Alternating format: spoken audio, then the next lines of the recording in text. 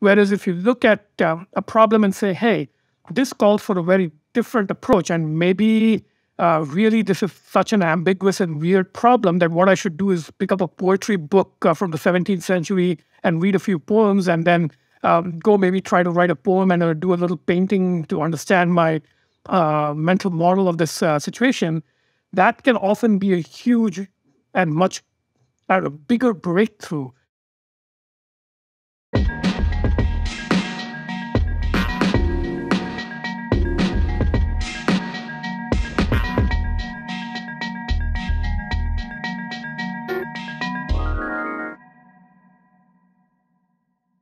Today, I'm talking to Venkatesh Rao, indie consultant and writer. Just released a two part series, The Art of Gig, which was based on a newsletter series he published on Substack a couple of years ago. I just reread the books. Uh, they're awesome. They bring alive a lot of indie and freelance experiences. Literally made me laugh out loud several times because I resonated so much with some of the experiences. Um, also writes on Ribbonfarm for several years about emerging tech and the internet and is experimenting with what the future of indie work looks like with Yak Collective. Welcome to the podcast, Venkatesh. Pleasure to be here, Paul. Wanted to start with a quote which sort of aligns with a question I kick off with with many people, which is what are the scripts and stories you grew up with around work? You said this in the book. Did I really leave the paycheck world I was factory manufactured to inhabit and learn a whole new set of work ways, ways new to humanity over the course of the last 10 years? Uh, so it seems like this book was a way to sort of reflect on that journey. Um, seems like it's kind of crazy looking back. Why did you uh, leave the world you were factory manufactured to inhabit? Yeah, it's uh, it surprised me because I don't think of myself as uh, uh, the kind of like um, rebellious chip on the shoulder personality that's always chafing against uh, scripts or uh, you know particularly hostile to the scripts my parents lived out. So my dad was uh, a classic organization man. He worked for Tata Steel all his life. And then towards the end of his career, he spent a few years uh, running a smaller company. And then he retired to like a traditional retirement. And that seemed like a pretty good plan to me. Like there was nothing about that plan that struck me as like, um, uh, I don't know, awful and unbearable. And uh, the factory manufactured part, um, I guess I'm referring to school and college as um, the factory. And I think that's a common metaphor. But again, I was not one of the kids that hated school or particularly chafed against the controls. I was not on Ritalin. I'm not particularly ADHD, unable to sit still and listen and do homework. So I was a good student. And uh, I, not only did I do well in school, I actually enjoyed my schooling. It was like fun. I liked studying. Uh, and I ended up, um, as you might expect, getting like um, three degrees. So I clearly must have enjoyed it enough to like stay in school all the way through a PhD, right? Uh, and I enjoyed my job too. Like again, I don't have the usual reasons for quitting, which is like hating your job. I was like appreciated and enjoying my work at Xerox, uh, 2006 to 2011. So not only was I factory manufactured for this world, I actually enjoyed being in that world as well. Uh, and I think um, when I reflect back, what made me quit it is it's one of those things, uh, it's like uh, Nassim Taleb's Turkey example. It's like 99% of the days are great. You're enjoying yourself and uh, sort of uh, you fit the script and the world and the context and the environment and it's fun. But when it breaks, it breaks really badly. So the crisis moments uh, in the factory manufactured world and path they are really bad. And I had a couple of like crisis moments. One was uh, breaking up with my first PhD advisor. That's also part of the factory world. And then I quit and went off to work for a startup for a year. This was in 2000 and came back to a different advisor. So my processing of that crisis of, um, you know, relationship with my PhD advisor was one. And at Xerox, um, I guess enough time has passed that I can uh, talk about it. Yeah, I enjoyed my projects. I had good executive support. But at some point, I had like an irreconcilable run in with uh, corporate marketing. They wanted to market my projects a certain way. I did not want them marketed that way. And push come to shove, the CMO basically outranked me. And it was like, it's this is not a crisis I can solve sticking around, and it's basically not an option to stick around. So, and then the option to just go off into the gig economy um, via the blog that was Ribbonfarm was there. So I just took it and it worked. So uh, that's kind of what I mean by yeah, factory manufactured and then exiting because it was surprising to me that I ended up here. Yeah, it, it seems especially like as the years go on, more people are more aware of it. So I see more people more intent, intentionally going into it. And I sense like your book will be part of a more intentional movement as well. What were some of the models you had in your head about this world? Like, had you read Dan Pink's book before taking the leap? Oh, yeah, absolutely. So, uh, uh, I uh, read and reviewed uh, several of Dan Pink's books uh, early on in my blog. If you go like 2007 to 9, there, there might be a couple of reviews, Free Agent Nation and others. Uh, and I actually met uh, Dan um, once at a book reading and I got to know him a little bit personally. but yeah, the, I actually studied this quite deeply. Like at Xerox, one of my projects was Future of Work because if you remember between like 1999 to around 2009, the middle of the recession, um, the future of work was like always in the top three of like trend topics. Everybody talked about it, all concepts and things, right? And Xerox had a project. I was leading it. We even built a, a marketplace type product to like manage freelance labor and Xerox, so like you know graphic designers and stuff. I was leading that project. So studying the future of work theoretically from the comfort of a paycheck position for several years before I made the leap myself. And looking back, that was a little bit of a luxury because I got to like read, uh, you know, Dan Pink, and then uh, uh, I actually collaborated with the oDesk people, uh, what became Upwork a few years later. So I got to study it in comfort, and when I made the leap, I was like possibly over prepared for like unrelated reasons. Yeah, that's that's a point you make in the book, which is uh, maybe it's better not to know what you're getting into, and especially the the inner game side of it. Um, so maybe break down like we have like you frame it as like the outer game and the inner game. The outer game is like all right, get your taxes right, get your LLC set up, but the inner game is like knowing what to expect in terms of like how bad you might actually feel. Um, maybe say a bit more about uh, prepping or not prepping. Yeah, this is, uh, I go back and forth because it's, of course, hard to break out of the context of your own journey. And I'm sure you have the same experience. It's like, yeah, you get excited about reflecting back, learning all the lessons, and think, hey, I could convey this and ask people who come after me might have an easier time or at least make more interesting, newer mistakes than I did, right? Uh, so uh, I think uh, it, comes down a little bit to temperament and personalities. There are people who like to like over prepare and like see what came before uh, you know, what Balaji called the idea maze. You want to like learn the idea maze that has come before. But then there are also people who kind of want to like roll the dice and like go in with a fresh mind. And the upside there is you might discover like really novel and interesting new patterns instead of getting trapped in the you know idea mazes of people who came before. So there's it's kind of like a risk trade-off. And depending on your temperament, I would suggest um, I don't know trying a little bit of um, both paths and seeing what fits. Uh, but I think on balance, I am not that creative or imaginative personally. And I benefited from learning about what had come before, uh, like, you know, Dan Pink and others. Uh, so uh, that's the path I think I'm uh, more comfortable with. But the inner game part, that's that's kind of interesting. I think there's two things there. One is if you know too much about the risks and how hard it's going to be, you might get scared off on like day minus 10, right? Uh, and I think a good article about this, which I, I don't think I mentioned this in any of the book essays, uh, but it's, um, I, think it's called How Karate Kid Ruined the World. And uh, it's, it's an article, uh, I forget the author's name, uh, I think it's on Cracked. Uh, but the article talks about this notion of effort shock, which is movies like The Karate Kid take a very difficult journey and compress the hardest part down into like a training montage. And therefore, you walk in thinking it's going to be easy. And by the time you figure out that it's really, really hard, you don't know any better and you've already done most of the work and it's sunk cost and you power through and do it, right? So that's one side of it. So I think in this case, the effort shock is actually not that bad. A lot of the difficulties in your head.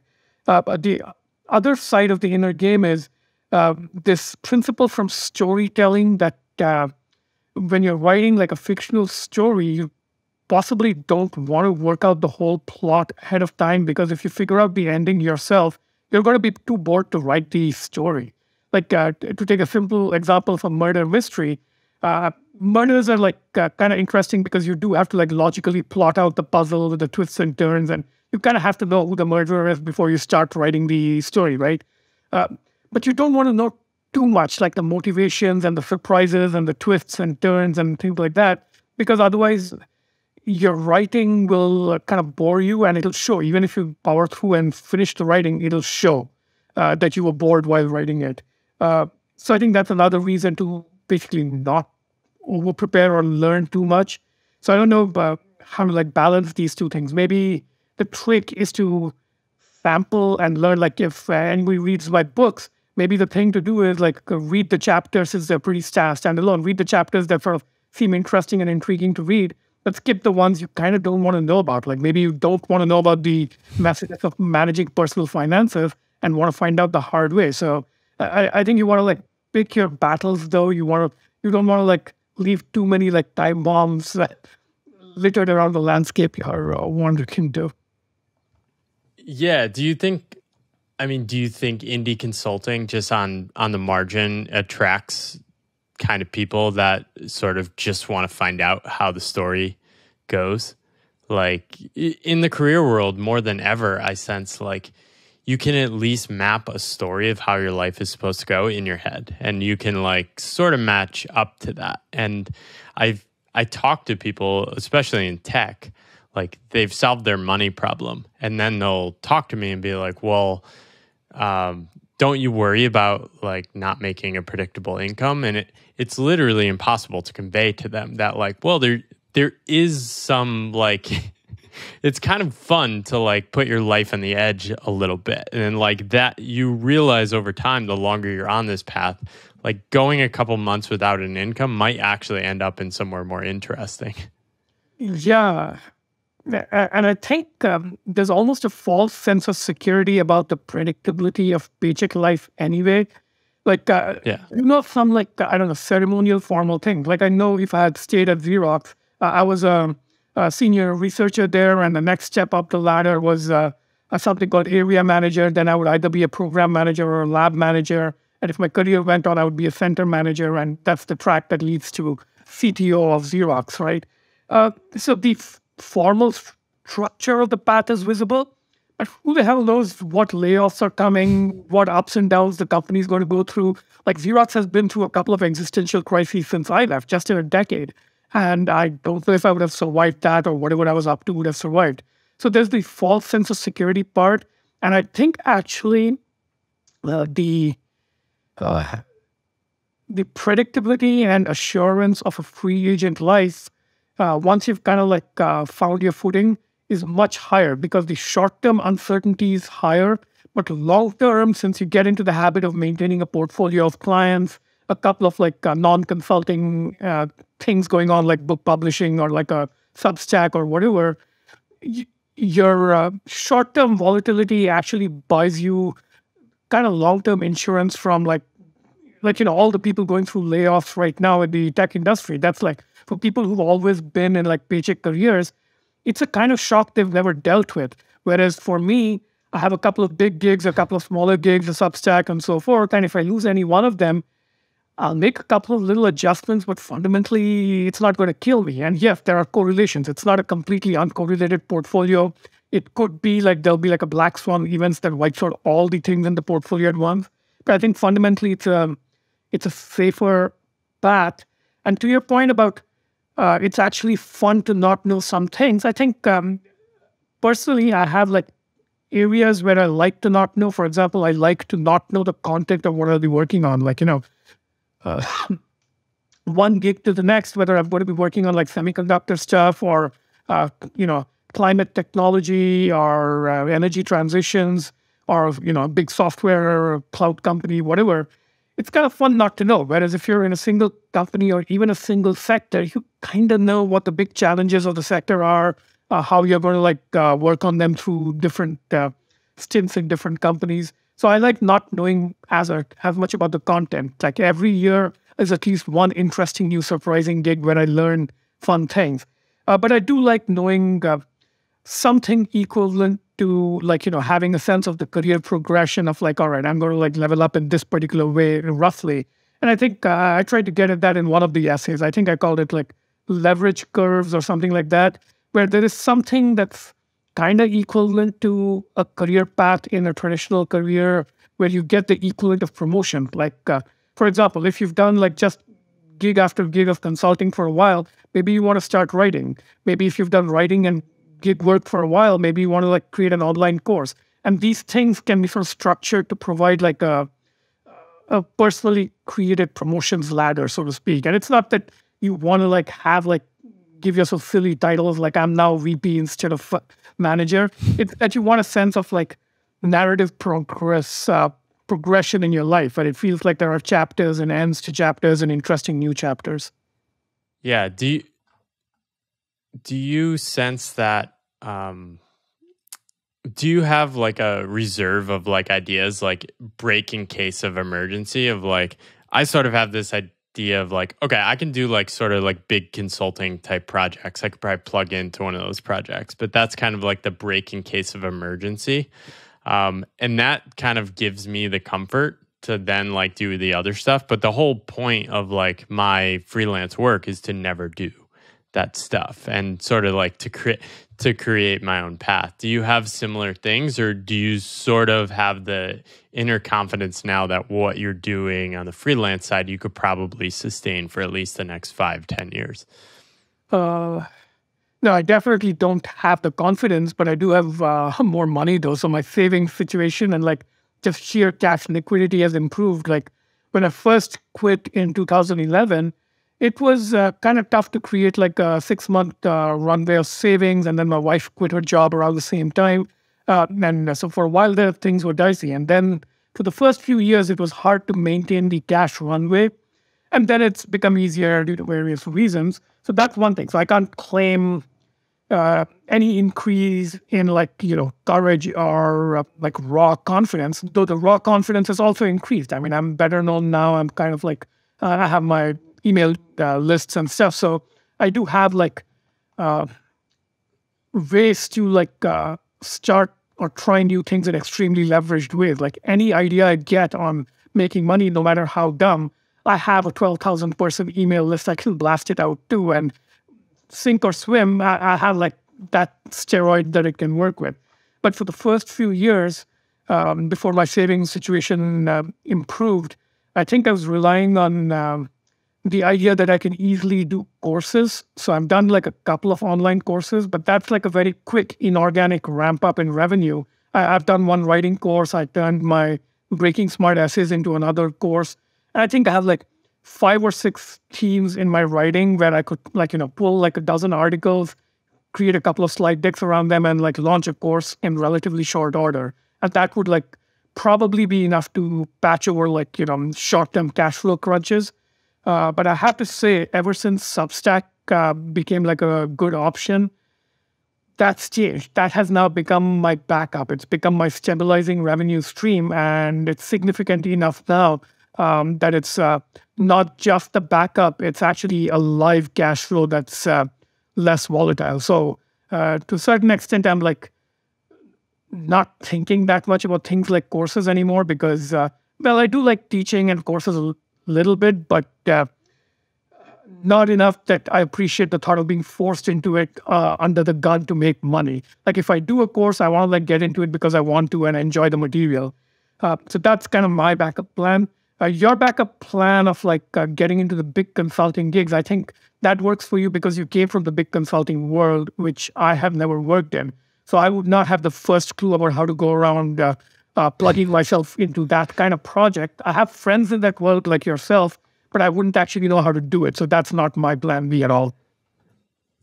Yeah, I think it, that is like an extreme plan now. I definitely don't want to go back and work at the firms. I could plug into one of these projects for three months, maybe. They're like PMO projects. They're like, you don't want to be doing these projects. this would make you quit consulting forever. But um, uh, it, it there is a certain amount of confidence you can get by just like even if you're like not even launching a course, just like building something and making like a hundred bucks from it, it's like, oh, this is a possible um, way to make money. Yep. Um, is that sort of how you've thought about things too, in terms of just experimenting online? Uh, I think to a much lesser extent than most people think that way. And I think that's mostly a function of my age. Because remember, I did a PhD and a postdoc. So my first Yeah. real job was at age, uh, what was it, uh, 32. And most people who kind of like start dabbling like this do start doing so like in their early 20s. So when you're like um, 32, 33 and married and used to like uh, a decent paycheck lifestyle, uh, hundred dollars is not enough to build confidence. And I had that. Like I started my blog in 2007 and I quit in 2011. And I got my first Google AdSense checks for like you know hundred bucks in like 2008 or something. I got I, by 2011 I was getting Amazon affiliate income that was like several hundred bucks worth. Uh, I was writing a few guest posts at a couple of other um, industry blogs for like 200 bucks a pop it was fun and it was kind of like minor validation, but I wouldn't say it inspired a great deal of um, confidence in my path. I would say if I had to put a number on it, for me, confidence building cannot start until it's like um, a thousand dollars a month uh, level cash flow. So if I could look at it and very trivially, you know, flip a switch, turn a knob, and start bringing in a thousand dollars a month, then I'll take it seriously as a confidence builder. 100 200 maybe the inflation talking it, it's pocket change it's not enough to take serious risks on Pre pre pandemic, maybe. um, you you have a really good understanding of the big consulting firms. Um, probably better than like most of my former colleagues. um, why why do you think understanding big cons- big consulting is so important for indies? Which I I think you're spot on on this. so uh, and I, I mean uh, you're to give the devils their due they pioneered this whole thing right uh, i really love this uh, book lords of strategy which i cite like a couple of points in the book uh, by Walter Kiechel. Uh, and uh, he, he talks about the history of how strategy consulting in particular came out of like the uh, 1970s japanese competition oil shocks era and companies had to get out from being like uh, dull, unimaginative, just uh, plow along in a straight line type of like uh, old school managed companies to companies that actually think strategically and steer. And yeah, I think um, BCG, Bain, uh, McKinsey, um, Harvard Business School, for about 15, 20 years, they were doing like some serious, real hard thinking and actually injecting some really solid intellectual DNA into kind of a stupid business sector. Like I, I like to think of like the overall IQ of the business world as uh, going through cycles. Like the business world used to be kind of dumb before the robber baron era, so and then it had a period of like rapid IQ increase in like 1870s to maybe 1920s. That after uh, the New Deal and the Roosevelt era in, in the U.S., it kind of got stupid for a few decades. Uh, you can actually go back when you see the Reagan Thatcher era start. Um, and this was, I think, uh, I forget where I read it, but in the Thatcher uh, UK, industry leaders were, were actually scared of the free market. They were so used to like the protectionist world that many of them complained to Margaret, uh, Margaret Thatcher about like how are we going to survive, blah blah blah. And today we are at the other end of the extreme, um, the pendulum, uh, pendulum swing, where they're like extremely overconfident about their ability to survive and like do good in the Hobbesian uh, marketplace, right? Um, so uh, you can think of this as like IQ and confidence sort of like um, cycling uh, through. And I kind of like uh, went off on a, a bunny trail here. But the point is, the reason uh, big consulting was valuable during its uh, heyday was it really leveled up the IQ of the business world by about, I, I would say, 20 to 30 IQ points. Like people were starting to think critically and so forth. Then, of course, it got institutionalized, captured, cronyist, all the problems you and I've talked about. Uh, and it's also in um, both our books. Um, I, I, think it's like the end of a cycle. And uh, the business world, I think, is honestly getting stupider again. So it needs a fresh injection of uh, intelligence. And yeah, we have to plumb new sources of intelligence. But yeah, for a while there, the consulting world was worth learning from. And yeah, I constantly tried to learn from how they operate. Yeah, one thing that stood out in Lords of Strategy was how uh, BCG uh, Bruce Henderson is like, let's split our team into competing tribes, and we're just gonna like see who can create the best firm. and it's a crazy experiment. Like no big firm would do this now. And Bill, I think Bill Bain um, was basically like, we came up with a better net model. Now we're taking all the consultants and starting our own firm. Um, and yeah, it's just hard to imagine that kind of um, boldness in today's world. And yeah, I dug into this the explosion of ideas in the late 60s to the early 80s was just really impressive. Like you probably would have been someone that would have been in that world in that time period. Oh, um, yeah. They had a lot of weirdos. and also there was no other option for people like us if you think about right. it. It wasn't the internet. There wasn't this option to like just create a random independent thing. Like if you read um, uh, advice on starting your own small business from the 80s or 90s, like the E Myth, uh, Michael Gerber's book, you get this sense that this is fundamentally um, mental models from an era where the environment was way more hostile to uh, this kind of path. Uh, uh, but um, uh, just a point on your um, Bruce Henderson internal competition, I actually thought about that, and it strikes me that that kind of like competitive boldness, like create a Darwinian subculture. Uh, it's kind of more common in companies now, but it's always been the preserve of like one level of abstraction higher. Like, you know, government procurement works that way. Like fighter aircraft are usually, uh, you order one prototype from Boeing, one from Lockheed, you call them X and Y. There's a fly off, and then the winner uh, gets the big contract, right? Uh, but it's interesting to reflect on what happens to such apparently uh, honest competitions. Like DARPA grand challenges are, are similar they tend to get captured by the competitors. Like uh, what happens is at some point, Boeing and Lockheed get big enough that they can basically rig the competition. So even though it looks like an X versus Y fly off, everybody knows that the Joint Strike Fighter contract is going to like unfold a certain way based on like who knows which senators and where the jobs are being built. And I think uh, uh, the DARPA grand challenges are better, but they're also sort of uh, vulnerable to this kind of capture.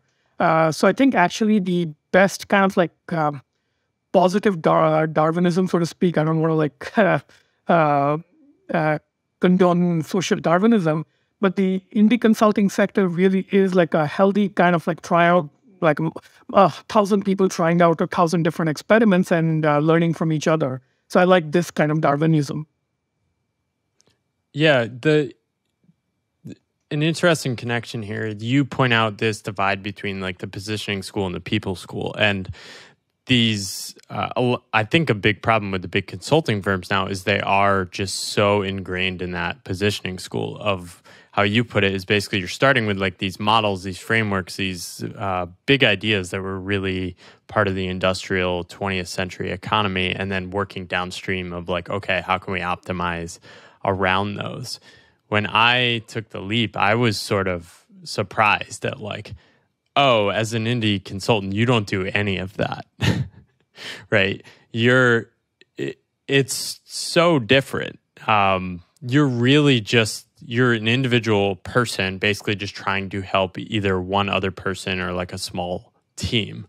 Um, and that was a big lesson for me. Um, was that something hard for you to learn at the beginning and maybe say a little bit about like the positioning versus people school yeah so the positioning versus people of course is uh, also from Walter Kiechel's um, book um, and he makes the point that uh, yeah the people school has always been around but it, until very recently it was the minority tradition. Like you know university of toronto has several academics who work in it uh, Karl Weick, um, a couple of others. Um, I think for me, it was always the more natural school because I came from like uh, uh, academic uh, research, uh, lab like settings where you always work in this sort of uh, small, intimate, uh, relatively unstructured context. and I think um, the big three consulting world is positioning school for a reason. One is, of course, path dependency and its initial conditions But the other is the the way they deliver the work product is you've got the senior engagement managers who are kind of doing the slightly personalized relationships with the senior leaders of the uh, client organization. But then you also have this like massive army of rank and file uh, junior associates going and like doing interviews, collecting data, massaging them into Excel spreadsheets. And then even though, even when uh, firms like McKinsey don't do um, participation and execution, just deploying the advice itself, it breaks down into yes, you have to like be in the boardroom, maybe advising the board and CEO with the high level presentation, but you also have to like create like the operating process where for the middle management to use at scale. Like if you're suggesting a huge restructuring with layoffs here and growth there and so forth, you kind of have to give the middle management ranks a lot of an operating system uh, crudware, honestly, which may or may not work depending on how good the engagement turned out.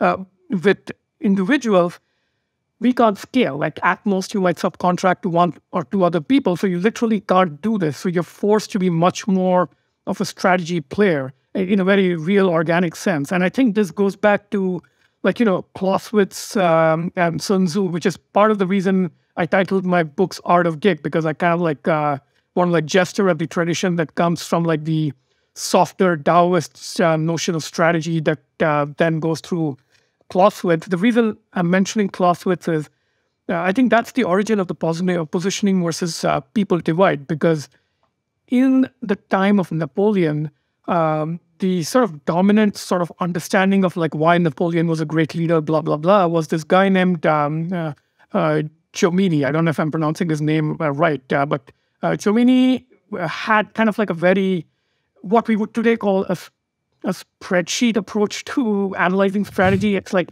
you, know, you want you're at point A, you want to go to point B. Here's the map. Get the shortest path from A to B. And of course, that's not how you do strategy because everybody can guess that you might do the shortest path and wait to ambush you on the shortest path. The point of strategy is to like do this thing. It you know think how the opponent might think and like get inside their heads, get inside their OODA loop, maybe go through an unexpected side flanking maneuver, things like that. And this was what Clausewitz uh, sort of saw as the essence of Napoleon's genius, which Jomini completely missed. Jomini kind of like analyzed Napoleon like he was a spreadsheet guy. Um, Clausewitz saw that the true genius of Napoleon was his ability to like spot these like unusual intuitive strategy paths that nobody else would expect and then would surprise the hell out of the uh, uh, opponent. And I think of um, this as kind of like a storytelling, uh, soft strategy um, art of gig. And the way it plays out in consulting gigs is you still want to have the same kind of impact. Like, you know, you want the CEO to be influenced, you want the board to steer the company a certain way, you want middle management to start doing things differently. But you don't go hit it on the nose. You ask, what's the subtle thing I can do uh, in terms of suggestions to my senior executive client, plus like maybe a couple of seeds of uh, process scaffolding for the middle managers that allows the whole company to steer with like far less input from me, right? So it's it's trying to have very leveraged impact by actually doing strategy because you have no choice but to do strategy because you're in this asymmetrically weaker guerrilla position. You do not have the option of throwing like a dozen junior associates armed with uh, sheets into the organization, right? So you have to be more strategic. Yeah, I was in I was in like people school functions inside the big firms, and we would just force create so much structured frameworks on top of our stuff, which is just like that's the stuff that kills you. Do oh, that long enough. But um, I love at the beginning of your book, you have these 42 maximums and you kind of score, okay, if you agree with these or disagree, you should have a strong view. If you don't have any view, you probably um, don't know what's going on. But uh, one of them was no uh, avoid polished deliverables. Uh, so this kind of relates um, and is something I learned pretty quick, which is like, oh, I should just like send work in progress notes and half baked frameworks to the client and get um, reactions because I don't have an engagement manager anymore. yeah. Um, this, I think, is uh, an idea I came to intuitively as well as like um, just temperamentally because I'm honestly lazy. And I figured out the logic that of could why be me too. yeah. Uh, but I figured out the logic after I saw it working actually better than the you know polished deliverables. Like it struck me that working really hard to produce a polished del- or deliverable, if that's what the client wants, it means you're talking to middle managers with no real agency or authority, and the PowerPoint or whatever is going to like percolate up to somebody else, and then the you know uh, highest paid person's opinion in the room will prevail, and it's like you're playing games at the wrong uh, level. Uh, whereas if you just have like um, sparring meetings, as I call them, and like send quick email notes later, which is in my case just bullet lists of points uh, with like links to things we talked about,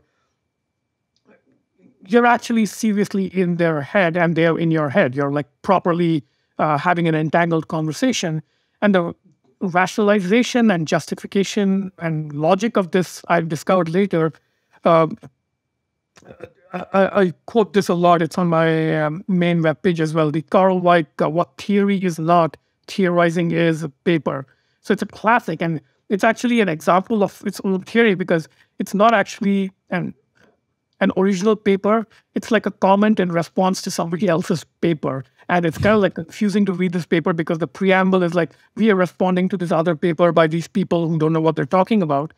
But the uh, main uh, uh, point there, uh, and it's on my uh, website, uh, venkateshrao.com, the quote that uh, I'll just read out the highlighted part. The products of laziness and intense struggles may look the same and consist of references, data, lists, diagrams, and hypotheses. And to label these as not theory makes sense if the problem is laziness and incompetence. But ruling uh, out the same five may flow inquiry if the problem is theoretical development still in its early stages. So I, I just literally read out the quote from the paper. So that's the point. Like, uh, I later sort of realized that even though I thought of myself as lazy, I'm not actually lazy. And uh, funnily enough, the first boss who really kind of like gave me executive uh, cover, um, uh, Steve Hoover at Xerox. I remember when I started at Xerox, and he kind of like picked me up to uh, basically champion my project. Uh, I, I, kind of like made this self-deprecating remark then that uh, I'm kind of lazy, and he kind of like corrected me and said, "You're not uh, lazy. Most people are intellectually lazy, and you're not intellectually lazy." And I was like, "Yeah, that's actually valid." Like even though I'm not willing to put a lot of work into polishing stuff, I'm actually completely willing to do hard thinking because I enjoy it. Like if you give me a hard problem to think around, uh, think about, I will actually sit down for six hours and literally just think about it. And what comes out, maybe this, uh, what uh, Karl Weick describes, like you know, messy set of anecdotes, mind maps, a couple of like memes, and it might look like it's just shit posting and indistinguishable from the products of laziness, like uh, Karl Weick says. Um, but it's different because uh, those who know know. Like if you look at the output and talk about it with the person who generated, it very quickly becomes clear who has depth of thought behind what looks like a shit post and who has it just as a shit post, and they have nothing more to say about it than the one meme they came up with.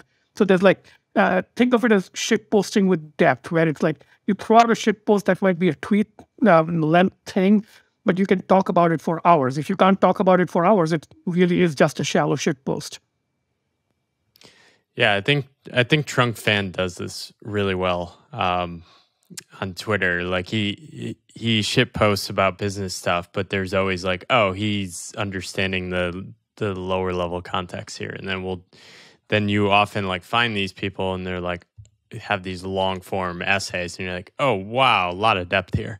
um, but it's it sounds like the basic trade off you're making is instead of spending ten hours on slides, you might um, spend 10 hours just reading other books, which I think if you've come from a traditional workplace for a long time, feels wrong and feels like you shouldn't be doing that.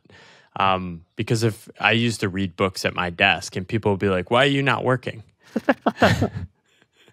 um, because that's the default mindset. So did you consciously make that or you just kind of let your natural impulses take you there? Uh, I would broaden what you said to uh, like um, you use the time, like if you're saying 10 hours, um, which you might do on slides and spreadsheets, you use the 10 hours in a much more tasteful way. In some cases, that might end up being like reading a book for nine of those hours, and then one hour you just like have scribbled notes. Mm. In other cases, it might be like, you know, um, reviewing a dozen articles. It might be like no reading at all. You might use all 10 hours for just sitting with a notebook in front of you or a whiteboard and thinking through ideas. But the point is uh, taste. And by taste, I mean something like when you look at a problem or a situation, there's an obvious scope and a lot of stuff within that scope. And if you have no taste, you kind of distribute your attention relatively randomly, often based on like uh, uh, very lazy habits of thought and execution. So if you look at any random problem and your response is, I should do 30% discovery, 40% uh, spreadsheet, 30% uh, PowerPoint, that's not being tasteful. But if you're doing that because that's your muscle memory and that's how you've handled every other project in the past, you will not ever do like interesting strategic work. Whereas if you look at uh, a problem and say, hey, this calls for a very different approach, and maybe uh, really this is such an ambiguous and weird problem that what I should do is pick up a poetry book uh, from the 17th century and read a few poems and then um, go maybe try to write a poem and uh, do a little painting to understand my uh, mental model of this uh, situation. That can often be a huge and much bigger breakthrough. Uh, so I think taste is two things. One is simply courage, courage to like uh, think about things in sort of the priority suggested by your intuitive response to the realities. As in, you're looking at this confusing chaos of inputs you're supposed to like do something with, and your intuition tells you this is more important than that. That's less important. That can be ignored. And eh, of course, you you kind of need some experience to trust your intuition. But once you have that experience, actually trusting your intuitions and running with them, as opposed to like second guessing yourself and saying, "Hey, I, my intuition tells me that this one paper is far more important than the other 99 papers I've collected, and I should spend all my time understanding this one paper in depth." Trusting that intuition and being bold enough to actually do that, as opposed to saying, "No, my boss will be mad if I don't write two sentence summaries of all 100 papers, including the 80 bullshit ones. That's not having the boldness. And the taste comes in with you could be wrong about picking the one paper that matters. So you better like be right a lot, which, which is an Amazon leadership principle. So it's like experience, taste, boldness allows you to like almost give yourself permission to be creative in how you approach a problem. And uh, I think a lot of people get almost all the way to the end where they have the experience, they have the taste, they have the judgment, they have the intuitive sense of what's right and wrong. But they fail to make that last leap of like giving themselves permission to actually act on that and say, hey, the right answer here is not, uh, you know, 30, 30, 30 uh, discovery, PowerPoint, um, whatever, but the right answer is, you know, 90% poetry, 10% paintings. And I think people underestimate how valuable this is to executives.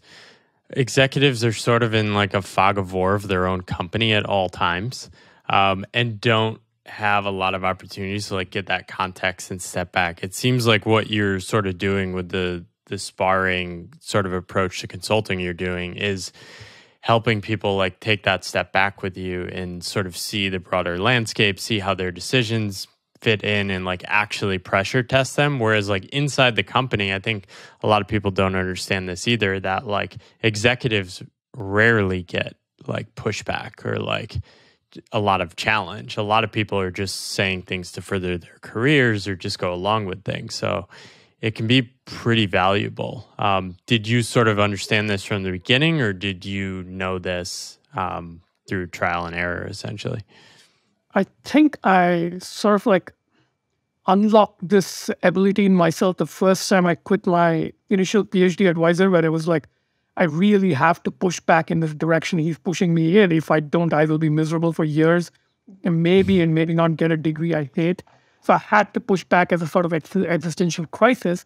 But it's like, uh, it's not so much a skill. Again, I, I, I keep going back to boldness. Like once you unlock that, like, I know, streak of courage in yourself to simply like push back, it becomes like something you use in all situations, and pretty soon you cannot operate in any other way.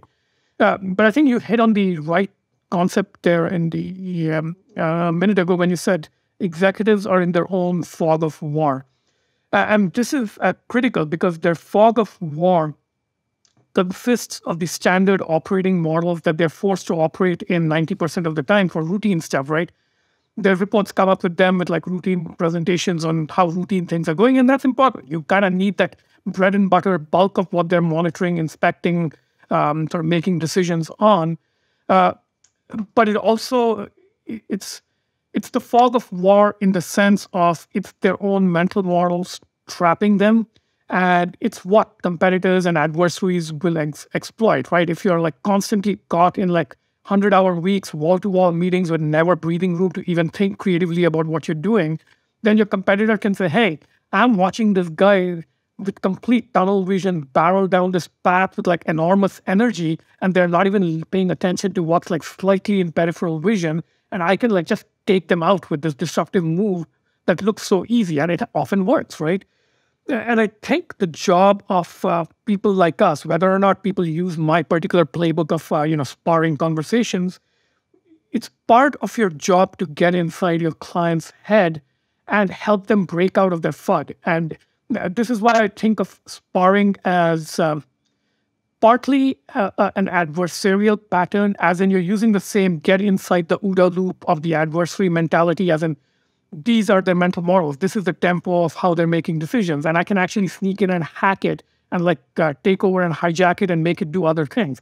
And if I were a hostile, if I were a competitor, if I was like working for somebody else, wanting to derail them, uh, and to develop the skill, you can actually do the use the same skill to undermine what they're doing. Like the it's sort of a double-edged sword. Like once you learn how to like penetrate the fog of war and actually start like uh, influencing how a person is thinking, you can always use it in two ways. One is to undermine what they're doing, subvert them, cause them to like self-destruct in like more painful ways, or you can get inside their head to actually make them better, like uh, reinforce the things they're doing well uh, plug some of their blind spots with like some awareness. And most of us are used to doing both. Like, you know, uh, a baby, if you're taking care of a baby, uh, which uh, you'll soon be doing a year, uh, you you a baby is a helpless uh, being that completely relies on you and cannot speak initially, and you kind of have to like get inside its head to like understand its needs and like get ahead of them and like create a nurturing environment, right? And then in an adult world, I use this example in my uh, older book, Tempo. Uh, uh, an attentive waiter at um, fine dining restaurant has to be the same way. Like if you keep interrupting the diners to refill their water glasses too often, you're just going to annoy them. But if you don't show up when they expect to be served, you're going to annoy them in a different way. So you kind of have to be inside their head and just like slightly subtly acting to make their dining experience much better. And um, I, I, like this sort of uh, service conceptualization of uh, supporting senior executives because this is um, uh, people may not like the notion of being in service um, and sort of the servant leader mindset here. But yes, you are being paid, you are serving another person and helping them do better. And you kind of have to have this mentality that's somewhere between uh, nurturing a child that may not always know what it wants, uh, being a waiter that is serving a diner, and in some cases, somebody who's like in many ways far more talented and uh, smarter than you and knowledgeable than you in like 99% of ways, but you can be the person who helps them sort of be much better, where you can kind of get past their FUD uh, shield. So yeah, it's it's a skill and it's part of your job description to actually operate this way. You talked about the the two sides of exploring system systematic doubt and systematic confidence. Um, do you think this sort of maps to like temperament too? Um, I found when reading this, I tend to explore the systematic confidence side more, and I wonder if this is like my natural like optimism. Um, I think it it probably depends on the industry too. Like a, a niche I've sort of fallen into is advising small and medium size advisory firms and basically helping them under. I guess some exploring systematic doubt as well because I'm helping them explore their blind spots um, as well as like helping them build confidence on what they don't know. Um, how do you think about these two poles? Uh, I think there's a two by two. This was part of, I forget now what the other axis of the two by two was. But yeah, the systematic doubt versus systematic confidence, it's of course a function of both uh, your own temperament and the client's temperament Uh, but to the extent you're able to sort of do it, the trick is to suspend your own preferences and give the client what uh, the situation demands they need, right? Uh, some clients, even if you prefer to give systematic confidence, some clients are actually in desperate need of systematic doubt and vice versa.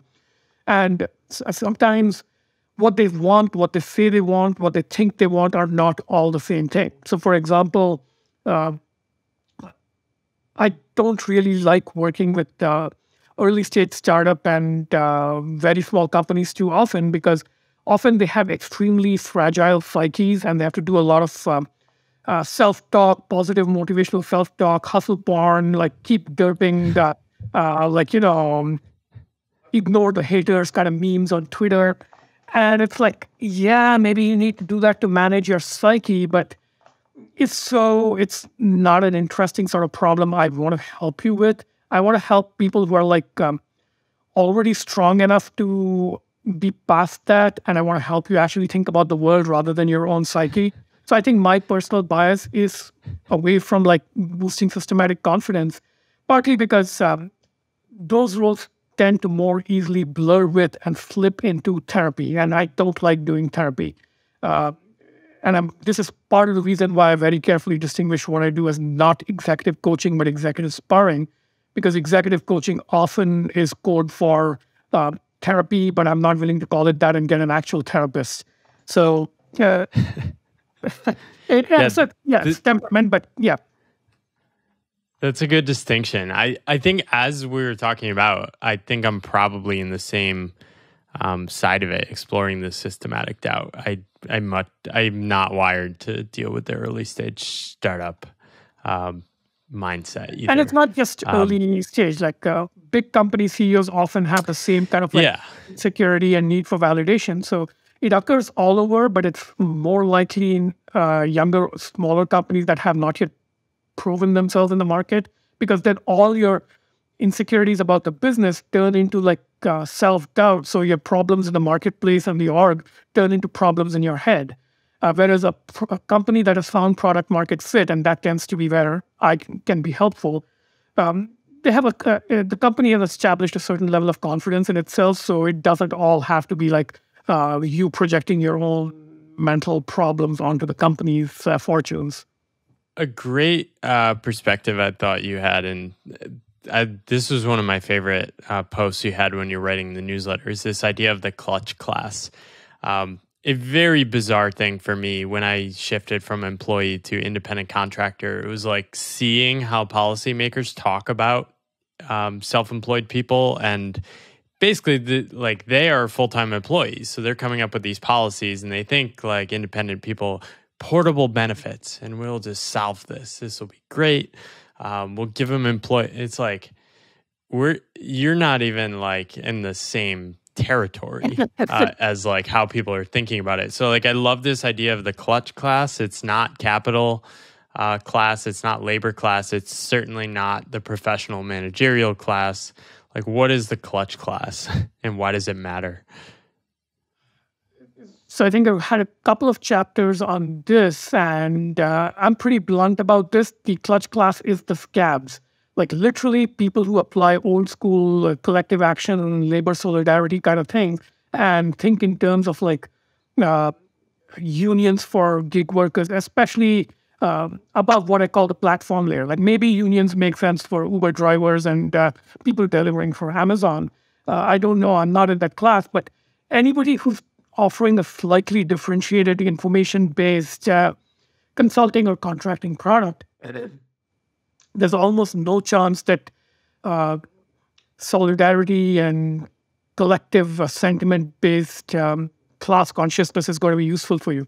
Now, you might still have like uh, a political uh, sort of set of beliefs that uh, make it worth your while to invest a lot of your surplus, um, your time, attention, financial capital in supporting the labor class, that's fine.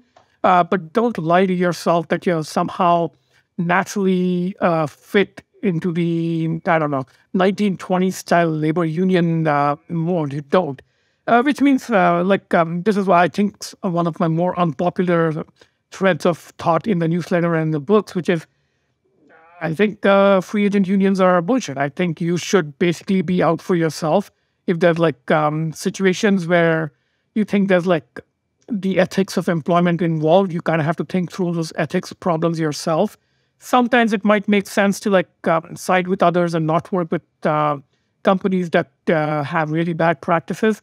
But fundamentally, you kind of have to own your moral agency in the work um, in the world of work.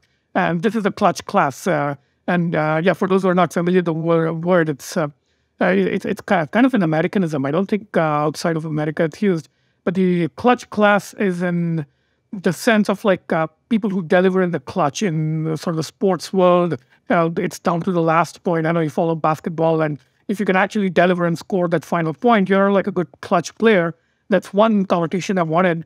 And the other connotation I wanted was uh, a clutch in the sense of um, automotive drivetrain, as in between the engine and the wheels, you've got this whole transmission chain, and the clutch actually engages or disengages and you need that when you're shifting gears or like um, changing gradients or things like that. So we are the class that help uh, businesses like change gears and so forth. Yeah, it's a weird sort of pers- perspective because, I mean, I know what I'm getting into. Um, and you sort of decide that you're okay with being this sort of like invisible layer in the world, right? I think you you write in the book, you say, We're members of the clutch class who largely own our means of production, have too high a degree of agency in shaping our own lives to be part of labor, and too little wealth to be part of capital. Um, and I think this is something I think a lot of people underestimate. People are like, I mean, I've explored the healthcare. Um, but at the end of the day, I don't waste too much time thinking about it or complaining about it. I mostly just explore it to like try and highlight these things, but I don't really expect to be saved. Like I, I know the downsides of what I'm opting into. Um, maybe over the long term, I think you wrote this like speculative fiction, um, looking back like a few hundred years ago and sort of poking fun at like our current healthcare will probably be seen as like a human rights violation. Um, but yeah, you're you're sort of like you're giving up your identity, your status, your like the opportunity of being this like sort of middle upper class uh, professional life, um, and you have to find the the reasons why it's worth it. Like I, I don't think you can come into this world expecting you're going to get all the things you had in a paycheck type life. Yeah, and uh, I do want to say though that um, for one, um, the ACA actually did make a big difference in my life. I, oh, I yeah. Runner right after Xerox, and then we were on my wife's Cobra after she quit. Uh, so ACA made a big difference in my life. Um, but I, it would not have changed my decision either way. I would have found some like messy private insurance or something else. Yeah. Uh, and, and in other parts of the world, it's not even an issue. But I do want to acknowledge that, yeah, it, it's a certain amount of privilege to be able to think like this. Like, uh, ACA is not cheap. I pay over a thousand dollars here in California for myself and my wife, and it used to be a couple of hundred dollars co-pay when I was a paycheck employee. And for a lot of people, especially those with like you know chronic conditions, at least in the U.S., healthcare alone is a deal breaker. Like if you're in Europe, maybe, but in the U.S., um, you just might not have the kinds of skills where paying thousand dollars a month for insurance is an option. But yes, I think your broader point is right that um, fundamentally we're talking about a class of people whose agency is high enough that if this is what's stopping you, your mental models and attitudes are probably more at fault. And I think the best example of this is the adjunct class in universities. So all these people with like PhDs in obscure subjects who are like basically exploited by universities. I think NYU is facing like a big strike with its adjunct staff they're paid like ridiculously low amounts for um, New York, and something similar is happening in um, uh, the University of California system right now. And my reaction is, yes, this is an obviously exploitative system. You're like screwing yourself badly with your, you know, advanced information uh, knowledge. And yes, it might be a slightly self-indulgent degree you found for yourself, but your options are certainly better than teaching English literature at really low pay as an adjunct somewhere versus uh, flipping burgers at McDonald's that's not the only two options. There's a whole bunch of like creative options in between where you don't have to be underpaid. You can afford health, health insurance and you can have a better life. So it's almost like a sense of learned helplessness for a lot of people to slot themselves into the unionized labor class when they really are not. So it's a it's a mental trap. Yeah, it, I've seen this as a feature on this kind of path because any minute I spend whining or complaining about my situation is like minutes I can actually make my life better. Um, so th- I went from like complaining about like situations at a big company to zero minutes a year focusing on like whining or complaining about my um, conditions, which is it's a pretty powerful shift for a certain like temperament that likes that uncertainty, but um, was a huge upside. I realized you you also said about the clutch class, um, paraphrasing Chris Dixon, what the clutch class does on evenings and weekends, everyone will be doing in ten years. What does that mean? So uh, I think this actually relates to your comment just now that you spend zero uh, percent of your time thinking about like um, all the corporate bullshit that uh, employees tend to spend. I don't know a third of their time whining about. um, the flip side of that is we do have to spend a third of our time tracking upcoming changes in like just the infrastructure of how we live, right? Um, like um, Substack is coming up. Teachable came up a while. Uh, Substack is already out there, and Teachable came up a little before. Kind of have to watch like what are the options for money making coming along? What are the options for money making that I thought were secure that are vanishing under my feet? Right. So it's like you're living in this world of creative destruction. So, uh, for example, the whole drama at Twitter that's going on right now as we speak for a lot of people who are yeah. inexperienced in free agency and the creative economy, who may have put all their distribution eggs in the Twitter basket, this is a moment of like panic and crisis. And for me, while it's interesting to track as somebody who's on the scene and a very online user of Twitter, it's fundamentally kind of irrelevant to me what happens to Twitter because I've because of precisely this, because of my evenings and weekends habits of like uh, uh, kind of living partly in the future. I mostly rely on an infrastructure that's like 30% past, 30% present, 40% future. So I have like enough things going on that any one of them like failing on me, I don't have to whine or moan about it. I can just let it go and make something else up. So yeah, if Twitter goes down, I will lose a big distribution channel and I'll have promotional problems. But I have three other live things and then you know, Web3 is coming up. I'm experimenting with NFTs. None of those really are like viable options at the moment. They're like fun play money. But yeah, I, I have those options. And that's what my evenings and weekends comments is about. Like, you have to be doing this. You have to be exploring the emerging landscape and like tracking which parts of your current landscape are fragile and possibly crumbling and like constantly keep, uh, I don't know, dancing on this shifting landscape. Yeah. Does this relate to your idea of keeping a 10 foot pole uh, between your public identity and your freelance um, or gig identity? Hmm. I'd like to think about that. Uh, I'm not sure it does. I think it's partly just uh, uh, sort of a pragmatic decision, as uh, as in a lot of the details of um, like how people like us make money is actually extraordinarily boring to talk about. Yes, I could like talk for an hour about uh, how I respond. It's very true. Yeah, yeah. I mean, I have my habits for how to respond to clients, how to write emails. If ever somebody asks me to write a document, how to negotiate that, how to talk about like you know hourly versus uh, project-based billing, and I touch on some of that in the books. Uh, but even in the books, it's like, yeah, this boring stuff, if you're not smart enough to just think it through and figure it out, all this other stuff is not going to help you. So, partly the distance between my social media and sort of public persona and sort of the day to day of my working life as a money making um, independent consultant, it's just leave out the stuff that's both boring and unimportant uh, because it's not fun to talk about. And if you're smart enough and to figure that out, you'll get to the rest. But if you're not smart enough to figure that out, you're going to get killed on other fronts anyway. So there's no, not much point talking about it. So, yeah, I guess it's a little bit of a, to the extent I'm here doling out advice in these books, a little bit of a tough love uh, poster. I'm not giving out any of the basic advice because if you can't figure that out, you have bigger trouble ahead of you. Yeah, agreed. Uh, Tom Critchlow wanted me to ask uh, what Um, can you tell us about some of these projects you're working on? Like, wh- what are you working on? H- how are you working with some of these clients? Um, if you can talk about them. Um, yeah, people would be curious just to hear a little more. Uh, most of my work is NDA, so I can't talk about most of them. Uh, but I can sort of like um, talk, uh, maybe mention a few. So, um, one client I've worked with for over a decade is Jim Keller. He's uh, kind of a legendary figure in the semiconductor world. And he was one of my earliest clients. Uh, he had just left Apple, where he had been building the key Apple mobile chips.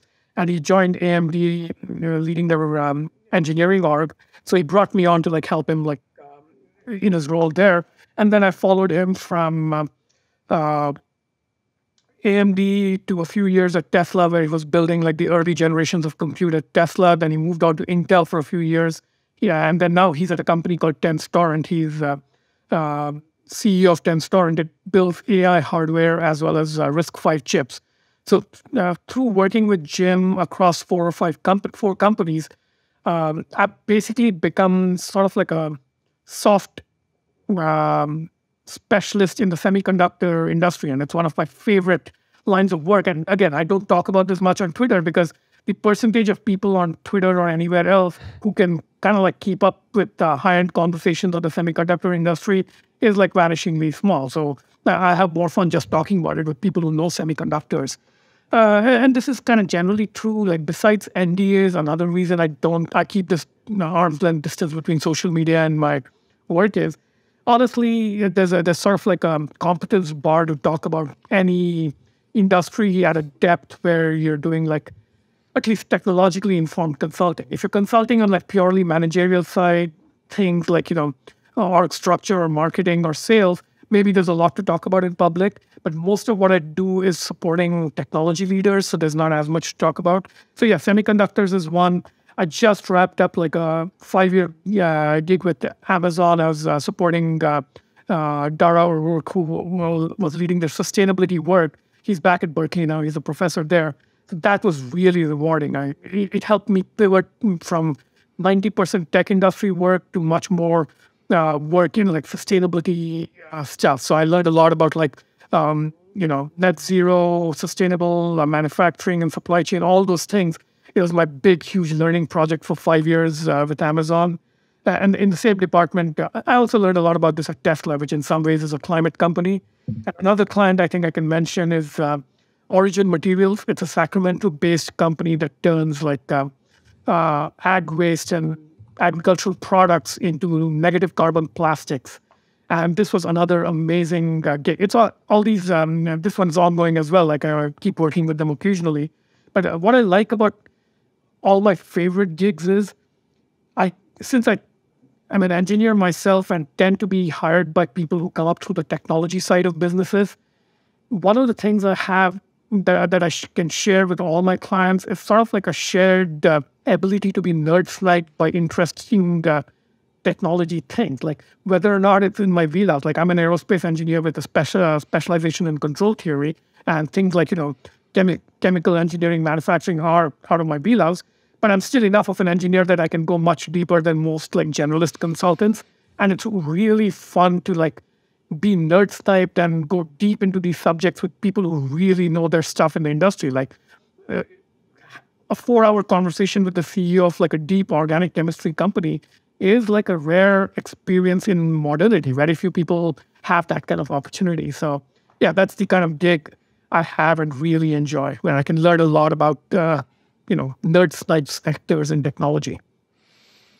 Yeah, and I think that's one of the best um, upsides to working in this field is you can sort of design and reach out to gigs that might be 80% beyond what you know but um, you can learn more than you your client learns um, in a yep. way um, what does the future of indie consulting look like? I was um, part of an initial experiment as part of like Yak Collective, and I found that really rewarding.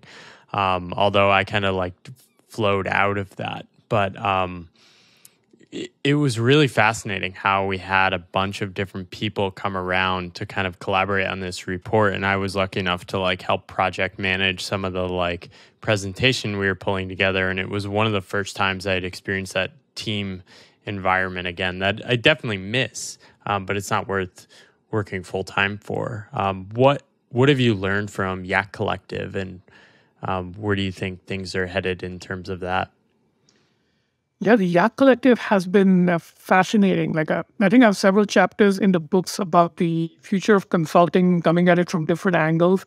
And I think the Yak Collective fits into a broader trend, uh, which I called, I think, uh, fourth generation consulting, or was it fifth? I don't know. I think fourth. Uh, but fourth, the idea that fourth wave, I think, yeah, yeah fourth wave, yeah. Uh, it's it's about moving on from this first era of like largely individual solo people to more like um, uh, squad-like approaches to consulting, where you team up with several people. And uh, there's a nice article called "Squad Wealth" by Toby Shorin and a bunch of others at the other internet uh, that gets at this. Uh, so yeah, the Yak Collective has been like really fascinating. Uh, we've only done one big project. Um, I don't think uh, you were part of that. Were you Neurofuturama? But okay, no. We did a bunch of like just spec projects which we put out there. Uh, we did one paid project, uh, as happened with a client of mine, um, Bryan Johnson, uh, who founded Kernel. It's a neurotech company. So we did a project for them. We're talking about another project with a um, client uh, of one of our other members uh, right now.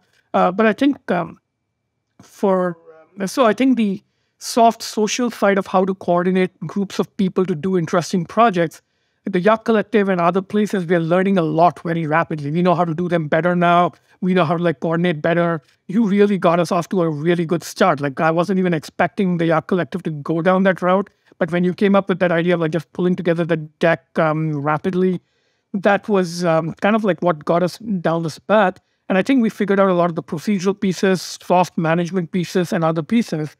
But uh, honestly, the biggest sticking point now is um, uh, the hard financial logistics plumbing, like literally who's going to be the counterparty of the client and take on the risks, how who's going to like recognize the revenue on their books and then uh, subcontract out the money. Like I did that with the one paid project I had. And it was annoying because I, I was doing things like, all right, $600 is the level at which you have to issue a 1099 to a subcontractor. So I literally ended up structuring the project so that very few individual pieces uh, went above the $600 uh, line. So only three of us uh, uh, did enough on that project to be paid more than 600. So it's kind of stupid that these kinds of like um, logistical constraints uh, limit uh, how well you can do this kind of like uh, future of consulting type work. But I think um, there's a promising signs there. Like, you know, if you use Web3 tools like a multi-sig safe and you're paying each other in cryptocurrency, if you're working with a crypto client who is willing to pay in crypto, this is not a problem at all. You just put in like a split contract or a multi-sig safe, and nobody, no single person has to be uh, a counterparty. A literal hive mind can come together in a split contract. The client can pay, and the money just flows automatically.